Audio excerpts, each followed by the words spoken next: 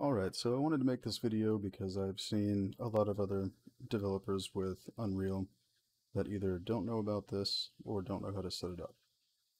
It's very simple to do. Uh, it's a free way to have source control and I've had no issues with it at all.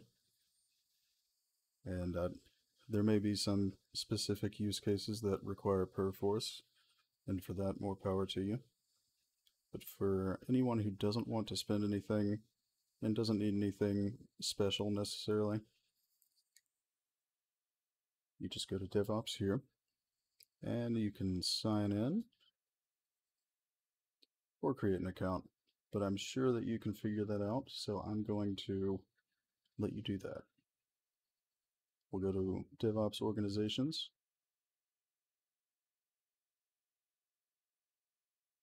Alright, so these are your different repos you may have to create an organization. I can't recall, it's been a little while.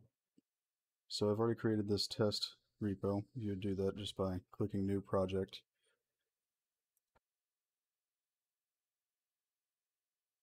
You'll go over here to the left where it says repos. And you're going to see this URL here. So you can copy that. Then you'll open up GitHub Desktop And we're going to add their clone repository. You'll put the URL in here and choose the path where you want it to go.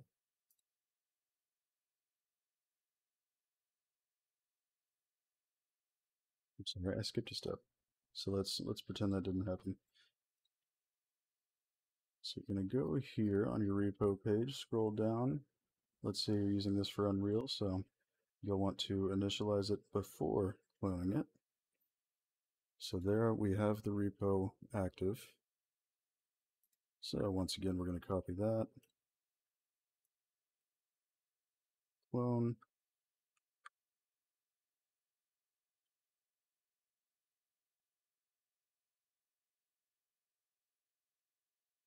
Now, if it does ask you for a password, which it usually does, I'm really not sure why it's not asking me right now.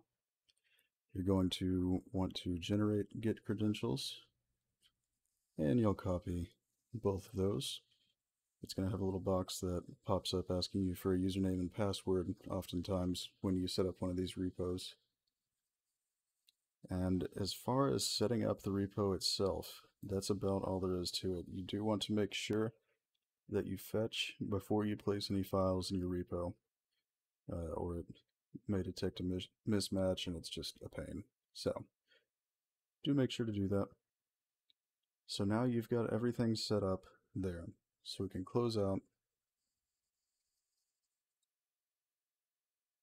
And when you're in Unreal Engine, you'll just go down here to the corner. Usually it'll say connect there, but I'm already connected to my own repo.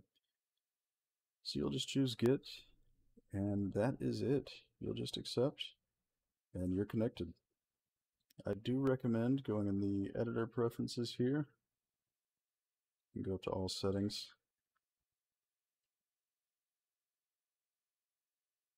Turning on automatically checkout on asset modification. That just should make your life a lot easier.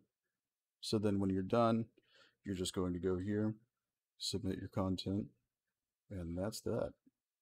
It is that simple.